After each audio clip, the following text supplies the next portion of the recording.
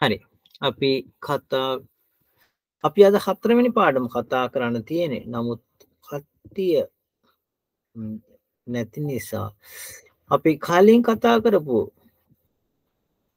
මේ ක්‍රියාපදවල ක්‍රියාපදවල කාණ්ඩ ගැන කලින් දුවහල තිබුණ. එක නිසා පොඩ්ඩක් පහු ඒක කියල දෙන්න බලාපොරොත්තු වෙනද කොට ක්‍රියාපද කියන ඒවා ක්‍රියාපද බැලුවොත් එහෙම ක්‍රියාපද කාණ්ඩ තුනකට වෙන් වෙනවා. පළවෙනි කාණ්ඩය දෙවෙනි කාණ්ඩය තුන්වෙනි කාණ්ඩය.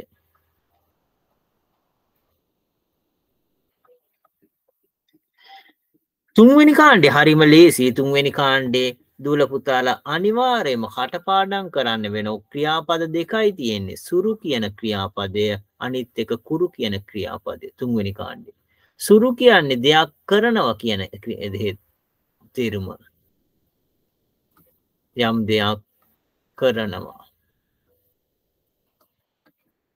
කුරු කියල කියන්නේ එනවා. හරි. මේ ක්‍රියාපද දෙක විතරයි තියෙන්නේ. එතකොට මේක මස් පෝම් එක බැලුවොත් එහෙම කුරු කිය සුරු කියන එක මස් පෝම් එක සිමස්. කුරු කියන එක මස් පෝම් එක කිමස් හරි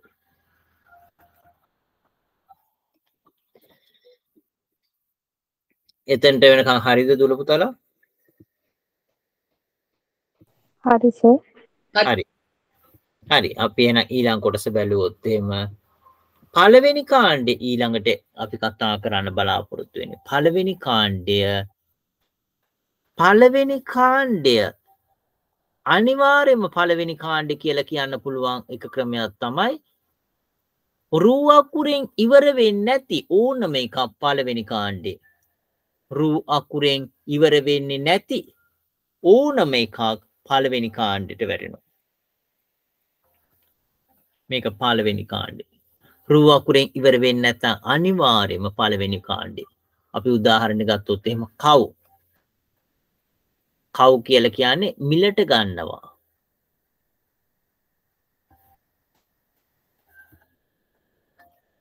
මේක පළවෙනි කාණ්ඩ. මොකද අන්තිමට තියෙන්නේ රුවක්පුර නෙවෙයි ඌවක්කුර හරි. ඊලාට අපි බැලුවොත් එහෙම නොමු බොනවා.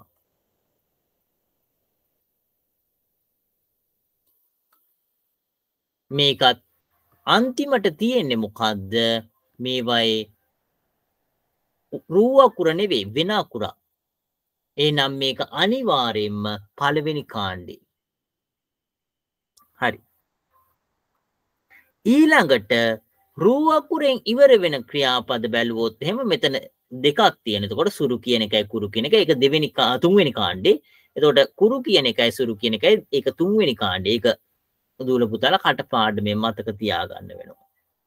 රුවකුර බොහෝ වෙලාවට කටපාඩුවෙන් මතක තියාගන්න වෙන මොකද රුවකුර වෙලාවෙදී දෙපැත්තටම පලවෙනි කාණ්ඩි වෙන්න පුළුවන් දෙවෙනි කාණ්ඩි වෙන්න පුළුවන් රුවකුරෙන් යෝ අවසම් වෙන ක්‍රියාපද.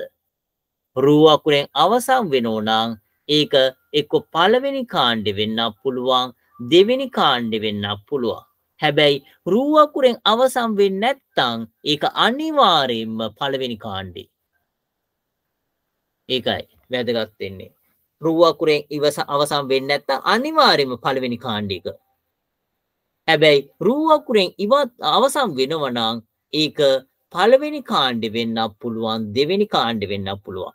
එක තුන්වෙනි කාණ්ඩ වෙන්න පුළ නමුත් අපි තුන්වෙනි කාණ්ඩ මං කලිනුත් කියල තින තකොට තුන්වෙනි කාණ්ඩ ක්‍රියාපද දෙකයි තියෙන එක නිසා ඒක අනිවාරය ඒද කටපාඩන් කළ එක දැක්ක හැටියම එක තුන්වෙනි කාණ්ඩි කියල දැනගන්න පුළුවන් වෙන්නවන තුළපුදාට දෙකත් තියෙන හින්දා. හැබැයි අනිත්තේව එහෙම නෙවෙයි. ඒවැ කීපයක් තියෙන ගොඩක් වෙලාවට ගැන ගොඩක් තියෙනවා. ගොඩක් තියෙන ක්‍රියාපද. එක නිසා මේ වගේ ලේසියෙන් ඒක මතක තියාගන්න බැහැ. භාවිතා කල්ලා භාවිතා කල්ලම තමයි පුරුදු වෙන්නේ. හරි. එක නිසා දූලපුතාලට පළවෙනි කාණ්ඩිත ගොඩක් වෙලාවට මේ වගේ එතකොට රුවකුරින් අවසම් වෙන්න ඇත්තන් එතකොට එක හරිම ලේසි එම පකි කාණ්ඩ මතක තියාගන්න කොහෙත්තම අවශ්‍ය වෙන මොකද පලවිනි කාණ්ඩික රුවකුරෙන් අවසම් වෙනවනා අපි වැලුවොත් එහෙම නෙරු නෙරු කියන්නේ නිදාගන්නවා නෙරු නෙමස් දොට මේක මස් පෝම් එක නෙමස් රූවකුරෙන් අවස් අවසම් වෙනවනම් එක රූ අයිම් වෙලා මස් කියන එක එකතු වෙනවා. හැම නිතරෙම මේ දෙවෙනි කාණ්ඩෙනං ඒක රූ අකුර අයිම් වෙලා ඒකට මස් එකතු වෙනවා. මේකේ නීතියක් නැහැ මේකට නීතියක් නැහැ තුන්වෙනි කාණ්ඩෙට. හරි.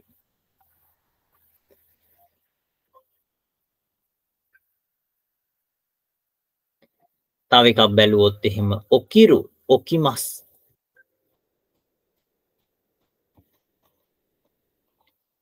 ඔක්කිරු එතකොට මේක ඔකිමස්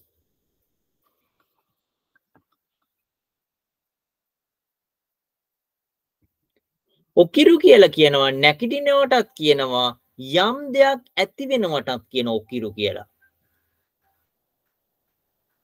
නැගිටිනවා.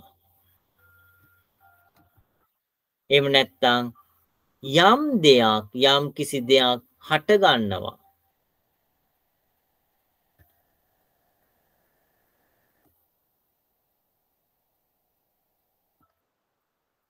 ඔකිරු.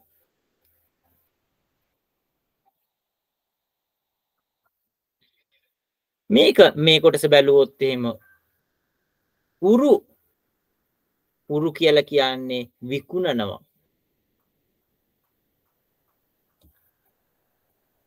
මේක පළවෙනි කාණ්ඩේ එතකොට පළවෙනි කාණ්ඩෙනම් අන්තිමට ඌවකුර ඉංග්‍රීසියෙන් ලිවහම හැමනිතරම ඌවකුරෙන් ඉවත් ලිය මේ ඉවර වෙන්නේ. ඒක ඌවකුර ඉවත් වෙලා අයි එකයි මස්සේනවා මේක අපි වැලුවොත් එහෙම එතකොට උරු උයන්නයි මේක රූ කියන අකුර. එතකොට රූ එක වූ අකුර අයින් වෙලා අයේ එකහු වෙලා මස් වෙනවා. උරි මස් උරි මස් කියලා මේක කියන්නේ. ඒ එහෙම තමයි. එතකොට ඒක ක්‍රියාපද ටික පෙන් වෙන්නේ. එතොට රුවන්කුරෙන් එන ක්‍රියාපද සේරම දූල පුතාලා ඒක තමන් මහන්සි වෙලා එතකොට එක මේ මතක තියාගන්න වෙනවා. හරිද? හරිස හරිස ඔව තේරුණාදතකොට ඒ කොටස? ඒ කොටස මොනහරි ප්‍රශ්න තියෙනවද? නෑස හරි. නස හරි ඕකේ එතකොට මේක මේ කාණ්ඩ කියන එක කාණ්ඩ කියන එක වැදගත් වෙන්නේ මේක ක්‍රියාපද අපි එකනේ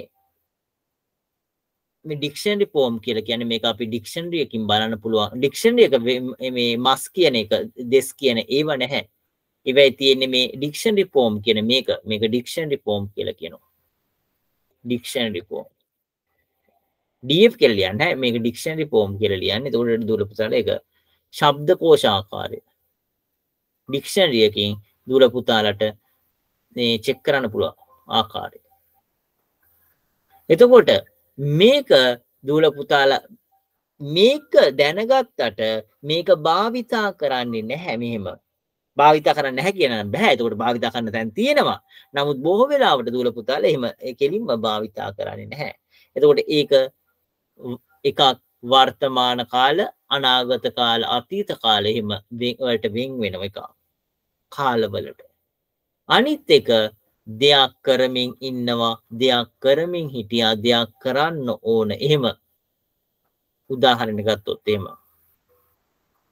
එතකොට ඒක විවිධ ආකාරවලට ක්‍රියාපදයතකොට හරවන්න පුළුවන් වෙන්න ඕන.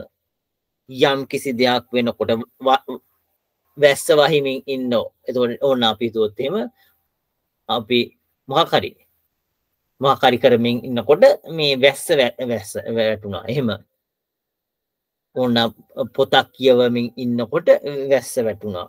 ඒ වගේ මොකක් හරි දෙයක් අපිට කියවන්න කියන්න එදිනෙදා දෙයක් හරිදකොට එම නැත්තම් අපි ඊයේ කොහි හරි ගියා. අපි හෙට කොහේ හරි යන්න ඉන්නවා. අපි අද මේ මොකක් හරි කරා. ඒ වගේ. එතකොට එදිනෙදා සංසිද්ධීන් එතකොට ඒවා විස්තර කරන්න අපිට ඒ ඒ වර්තමාන කාල අනාගත කාල අතීත කාල. එතකොට ඒ වගේම තේපෝම් එක තාපෝම් එක එහෙම ඒ වගේ. එතකොට අපිට දෙයක් කරන්න පුළුවන් කියලා කියන්න. එතකොට ඒකට අපි මේ එකන්නේ යම් කිසි දෙයක් අපිට ගැන අපිට ඇවිදින්න පුළුවන් අපිට කන්න පුළුවන්. එහෙම අපි මොකකරි මේ දුස්තරලාට ගිහම ඔයාට කන්න පුළුවන්ද? එතකොට ඒක ඉගැනි සාමාන්‍යතකොට ඔයට කන්න පුළුවන්ද කියලා හුවම එතකොට එක තේරුම් ගන්න පුළුවන් වෙන එකට පිළිතුරු දෙන්න පුළුවන් වෙන්න නතකොට ඒක එහෙම. එතකොට ඒ වගේ අවස්ථාවල් ටික අපි දැනගන්න ඕන. එතකොට ඩික්ෂන් රිපෝම් එක විතරක් දැනගෙන හරියන්න එතකොට අපි ඒ වගේ අවස්ථා ටික දැනගන්න ඕන. ඒ ටික දැනගෙන අපි වොකැබ්ලරික හදාගත් හම භාෂාව කියන්නේ ජපන් භාෂාව කියන සිංහල භාෂාවමයි. එතකොට නිපාත පද තියෙනවා. නිපාත පද ඉගැනේ කතා කරන්න පුළුවන් නිපාත පද නැතයි කියලා ජපාන් කෙනෙට තේරෙන්න හැත්තෙන හැ එතකොට ඒක නිසා ජපන් භාෂාව හොඳින් හසුරුවන්න පුළුවන් ඇත්තටම. ඒ ටික දන්නවන්න එක නිසා දුලපුතාල. එතකොට ඒ ඒ කොටස ඉතාම වැදගත් වෙනවා ජපන් භාෂාවිතතුර අපි ගොඩක් ඒක ඉස්සරහට ගිහින් තියෙනවා දුලපුතාලට. එම පොත්තකට සමගාමීව ගොඩක් වෙලාවට අපි මෙතෙක්කල් ලොකුවට කරලන හැතකොට නමුත් ජපන් භාෂාවි ගැන ගොඩක් ඉස්සරහට උගන්නල තියෙනවා. ඒක නිසා දූලපුතාලට පොඩ්ඩක් තව මහන්සි ගත්ත හම එතකොට ජේල් පිටි හරි එක්සෑම් කැන ලොකු දේවල් නෙවේ ඇත්තටම. තාම එකන් තවටිකක් ඉසරට ගම හැබැයි කංජි දන්නේ නැහැ තාම ලොකුවට. කංජි දන්න ඇති නිසා එම ලොකුවට දේවල් එහෙම කියවන්න බැහැ නමුත් ඉස්සරහට දුලපුතාලට පොඩ්ඩක් එහම මහන්සි ගත්ත හම තේරුම් ගන්න කතා කරන්න පුළුවන් වෙනවා. ඒක. එතොට ඒක මා කලින් කිව්වාගේ එතකොට ඒකට අවශ්‍ය වන ක්‍රියාපදවල එතකොට ඒ පෝම් තියෙන එතකොට ඒ ටික දුලපුතාල ගොඩක් ඒවත් තේ පෝම් එක තා පෝම් එක ඒවා අපි කතා කරලා තියෙනවා. එතකොට ඉස්සරහට දෙයක් කරන්න පුළුවන්. අපි කන්න කනවා තබෙරු තබෙරරෙරු කන්න පුළුවන්. එහෙම. ඒ වගේ එතකොට අපි ඉස්සරහට ඒ පෝම් ටිකත් කතා කරහම දුලපුතාලට ගොඩක් ජපම් භාෂාවතකොට අහල තේරුම් ගන්න පුළුවන්. වොකැබ්ලරි එක හදාගත්තාම. හරිද? හරි ඔව්. හරි. සාමාන්‍ය පෙළ එහෙම තියෙන ජපාන් භාෂාව ගොඩක් මේ පේපර් කීපයක් මේ Google ක්ලාස්රූම් එක දාලා තියෙනවා. එතකොට ඒවයි ගොඩක් වෙලාවට ඒ ජපන් භාෂාවට තොට සිංහලෙන් පොහකරි පොතක් පොත දැකරන හැ මේ පොතක ඒක තියෙන දෙයක්. එතකොට අහන්න වගේ එකක් වෙන්න ඕන. මොකොද ජපානය ගැන සාමාන්‍ය දැනුම සිංහලෙන් අහන එකක් තියෙනෙ ගොඩක් වෙලාවට. එතොට දූල පුතාලගේ දැන් දන්න ජපන් භාෂා දැනුමෙන් ජපානය ගැන පොඩ්ඩා ගැන ජපානය සිරිත් විරිත් හරි ඒ වගේ ගොල්ල මොහකර ඒ පොතේ තියෙන් ඕන නැත්තුන් තමන් හොයනවා කියනක නෙවෙයි. එතකොට වංහිතන පොතක් තියෙනවා වෙන්න ඕන. මන් දැකල නැති නිසාමට කියන්න බැහ පොතක් තියෙනොද කියලා. නමුත් ඒ පොතේ තියෙන දේවල් ඒ සිංහලෙන් ලියල ඇත්තේ මාහිතන්නේ ඒ ඒක ගැන තමයි ගොඩක් වෙලාවට එක සාමාන්‍ය පිළ ප්‍රශ්න පත්තරවලද තියෙන්නේ. ඔවුස පොතක් තියෙනවා. දහය වසරටයි කොඩා වසරටයි පොද් දෙකක්ද? ආයක තමයි. එතකොට ඒක තියෙන කොටස් ගැන තම ඇවිත් තියෙන නමුත් දූල පුතාලා අකුරු කියවන්න පුළුවන් වචන දන්නවා.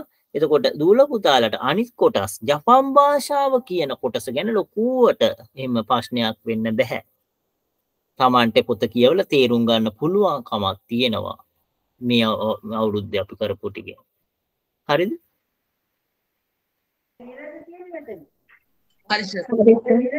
ඔවු එතකොට ඒක සිංහලෙන් ලියල තියෙන්නේ මං හිතන සිංහලේ.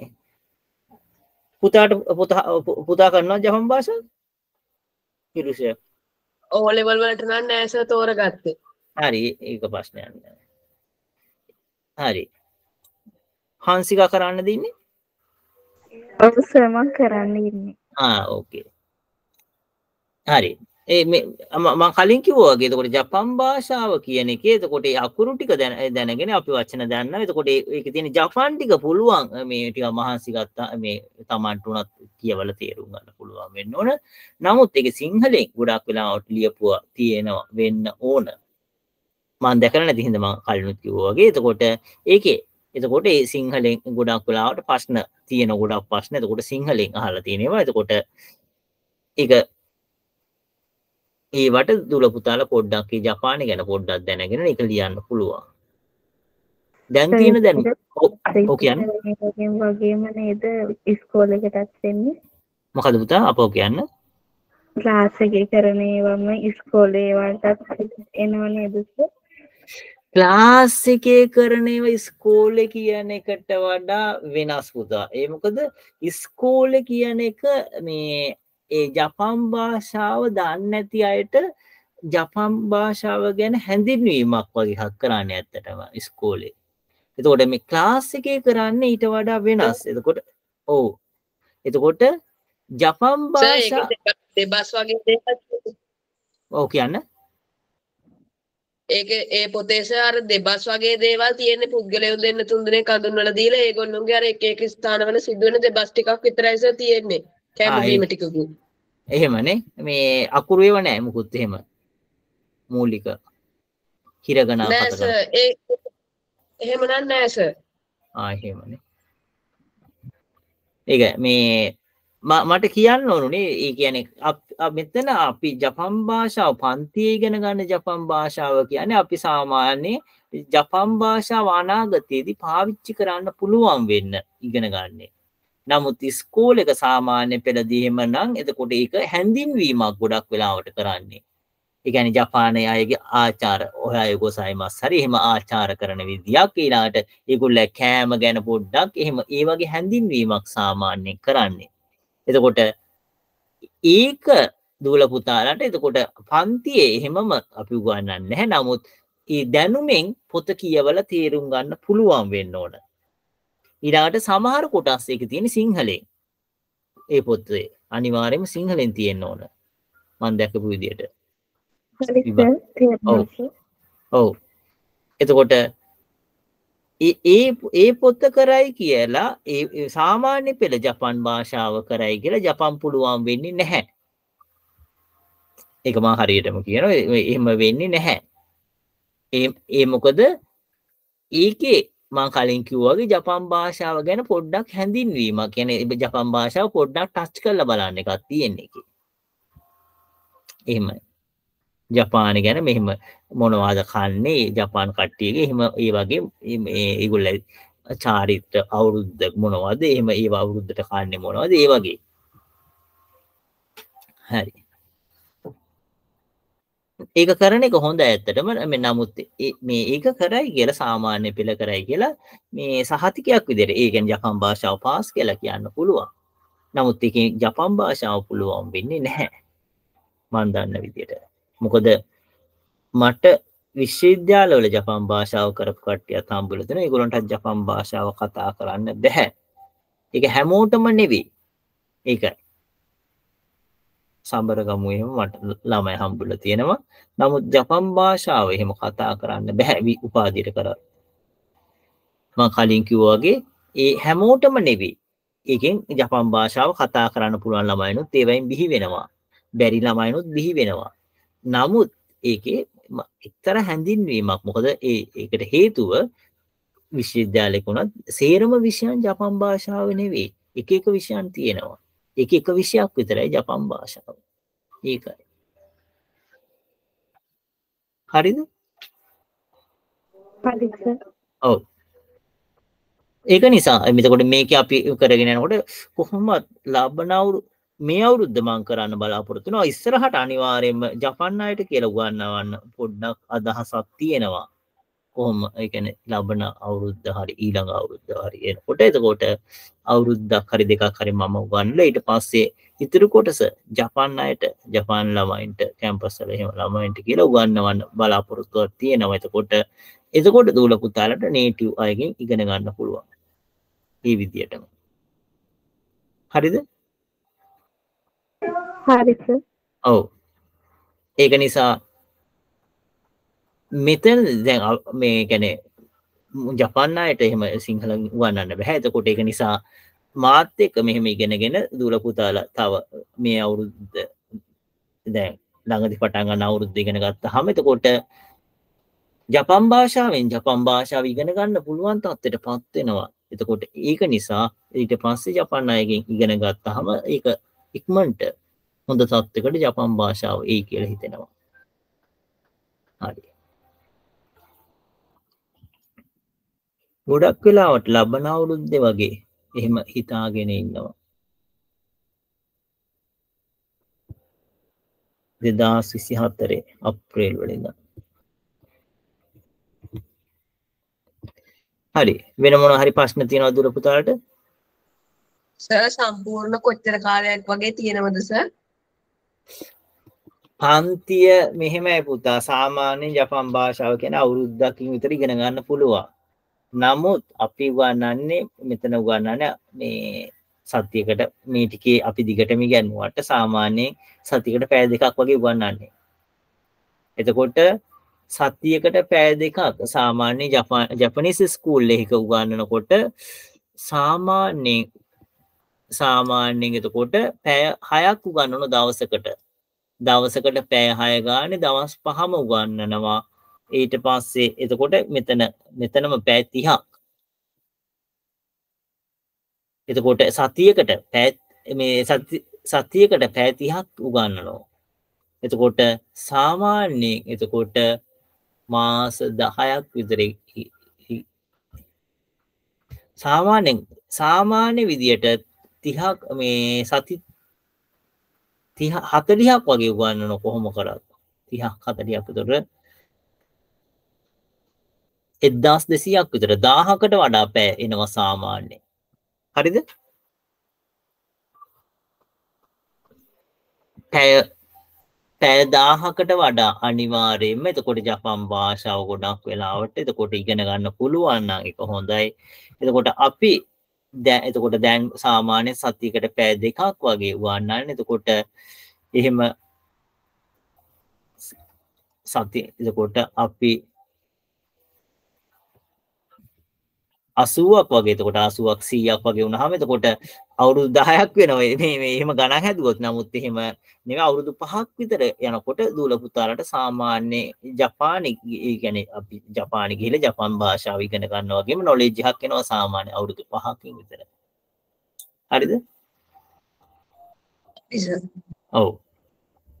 ඒගැන දූල පුතාලට එතකොට අවුරුදු ඉගැනේ ස්කෝල එක ඉගෙන ගන්න වගේ නෙවේතකොට ගැන මම කලින් කිව්වාගේ මෙතන අවුරුදු මෙතන මේ ප්‍රමාණය සාමාන්‍ය මේ සතිහතදයක් වගේදම වන්නන්නේ විවිධ දේවල් උගන්නනවා තොට ඒ ඒ කොටස දුල පුතාලා එතකොට හැම දෙයක් මෙතකොට දුල පුතාලා ටීවී බල්ල හෙම ඒවයින් කොටසක් ඉගෙන ගන්න වෙනවා. කොහොම කළත් නමුත් අවුරුදු පහකින් වගේ හොඳට ජපම් භාෂාව සාමාන්‍ය කතා කරන ලියන්න කියවන්න පුළුවන් තත්වට පත්වෙන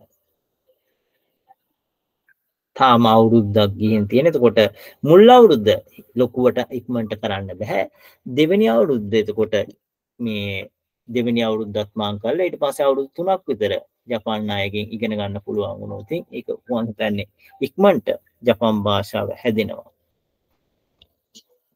හරිද? හරිස ඔව්.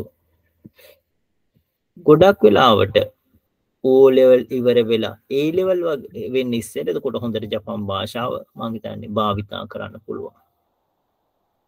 ඒලෙවල් වෙනකොට අනිවාර්යම ජපන් භාෂාව හොඳට භාවිතා කරන්න පුළුවන්.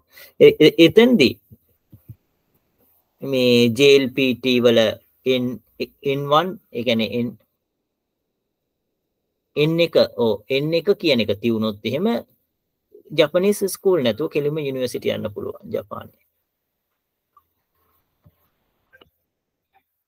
හරිද? හරි සර්. ඔව්. අවුරුදු පහක් වගේ යනකොට කියන්නේ අපි අවුරුද්දකින් මේ ඉගෙන ගන්න වගේ නෙවෙයි අවුරුදු පහක් වගේ හිමිහිට ඉගෙන ගන්නකොට ඒක ගොඩක් වෙලාවට මතක හිටිනවා. හරි. වෙන මොනවා හරි තියෙනවද නෑ සර්